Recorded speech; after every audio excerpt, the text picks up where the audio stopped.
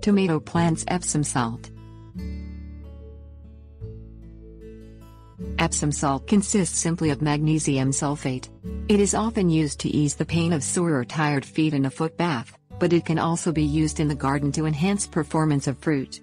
It is reported to improve the growth of tomatoes and stop blossom end rot that can totally rot a tomato.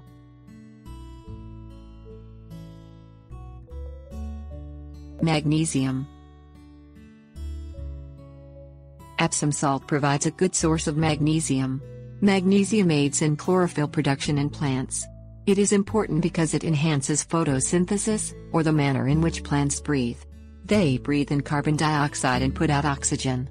Magnesium is usually found in the soil and is often included in many fertilizers.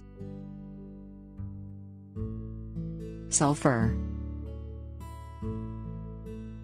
Sulfur is a component in Epsom salt. Sulfur gives plants protein and other enzymes necessary for them to grow strong.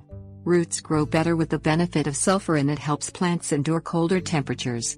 Sulfur is naturally delivered to plants through rain, but often they need a little boost. Magnesium deficiency. Yellowing leaves starting at the bottom and progressing to the top are one sign of a magnesium deficiency. Blossom end rot is also a sign. This is when the tomato blossom causes a large black spot on the very bottom of the fruit that gets bigger and bigger as the tomato grows. Eventually it will rot all the way through the tomato, rendering it useless. How to use Place a few granules of Epsom salt in the hole before planting the tomato plant. Once blossoms appear on the plant, Sprinkle 1 tablespoon Epsom salt per foot of plant height around the base of the stem. Scratch it into the soil and water well.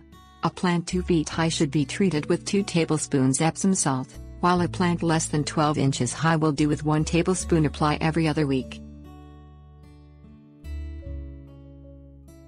Other uses Dissolve 1 tablespoon Epsom salt in 1 gallon of water. Place some in a spray bottle and use this to spray on the fruit and foliage. This will keep the foliage green and also increase the thickness of the walls of the fruit, making for a delicious tomato.